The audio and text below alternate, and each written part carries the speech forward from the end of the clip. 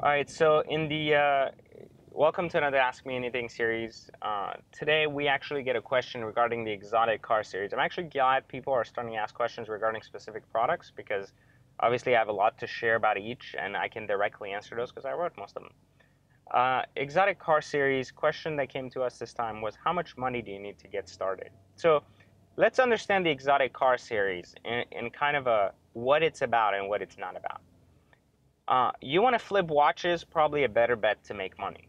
You want to flip cars to make money, you're going to need to be able to play with other people's money, or you're going to have to be able to either raise capital or have amazing, incredible credit, and you're going to have to have great relationships with banks. That's a game that takes longer to kind of establish yourself in. It's a little bit harder to play. It's still profitable if you do it the right way, but it's also harder to make a living off of something that has so many variables to it. The way I think about exotic car secrets is this. If you're going to pay to drive a car anyways, right? Like you're going to go and buy your shitty Honda Accord. Why not buy like an S-Class Mercedes and have the exact same liability or payment on it? Especially if you're not going to lose money on it, right? So think about it this way. I think of exotic car secrets as a way to substitute your existing piece of shit or the fact that you're on foot with having a vehicle that doesn't make you lose money over time. So the number one goal for exotic car secrets is not to make you money, but rather to prevent you from losing any. Uh, the second goal for exotic car secrets is to enable you to drive a nicer car than what you would typically be able to buy if you thought about the conventional way to buy a car, which is you walk in a dealership, you find a lease deal, you sign up, and then you go drive your piece of shit Jetta, where you could be driving a BMW M6 instead, right?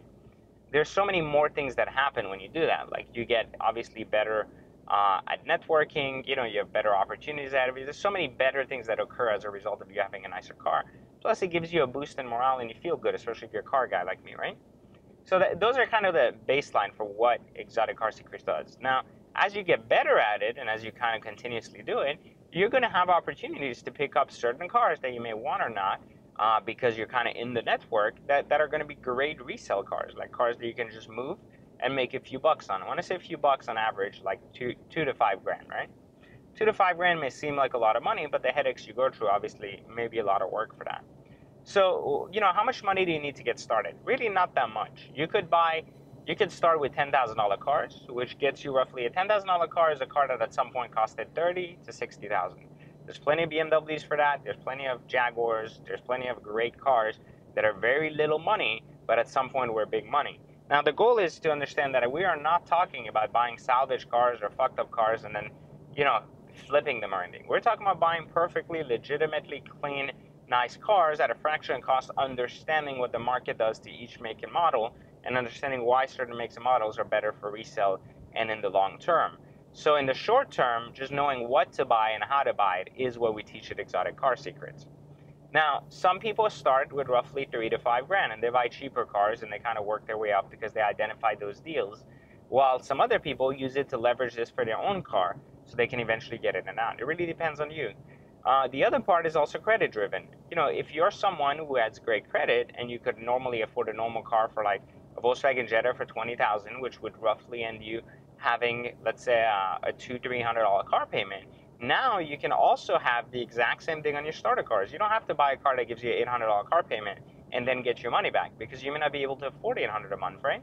So you may be able to very well start with just having nothing more than a cheaper car that is a $200 a month payment, where that has two to three grand in profit in it, that you can flip and get your money back out of, and and some more too. So the goal is to find exactly what I'm talking about: these specific cars that are going to be helpful to you making money uh, especially in the earlier stages, if you're short on money and your credit is not as incredible or can't afford to kind of uh, finance cars that are, you know, over 50K. I find that the sweet spot is in the over 50K cars. Why do I say that? Because you have to understand perspective.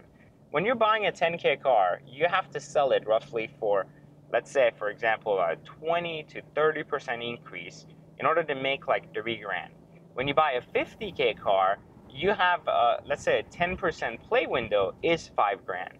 So what I'm trying to say is that there's more play with the larger margin cars, which is why you can sometimes buy Bugattis for like 700k, and then if you find the right buyer at like 900, you just made 200 grand on a car, right?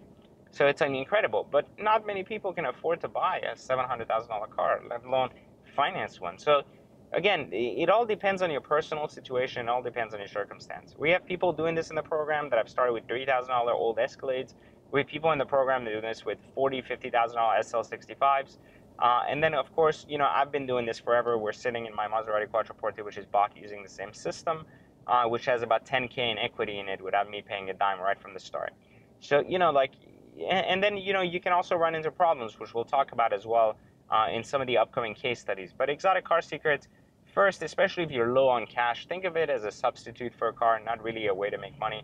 The watch flipping course, on the other hand, that you can move a lot of inventory, you can move it quickly, and be successful with it. Uh, very, very successful with it because you can ship watches quickly, easily, and, and for a very, very cheap amount. So I highly recommend it. Uh, I think it's a great, great uh, starting point from a money making standpoint and it makes a lot more sense to go down that route uh, instead of focusing on the car one, especially if you're low on budget or, or don't have that much money to kind of focus on.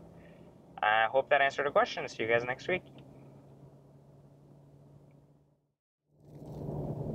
All right, so the next question for Ask Me Anything series is when should you go all in on an investment? Uh, meaning kind of like, I guess, I guess.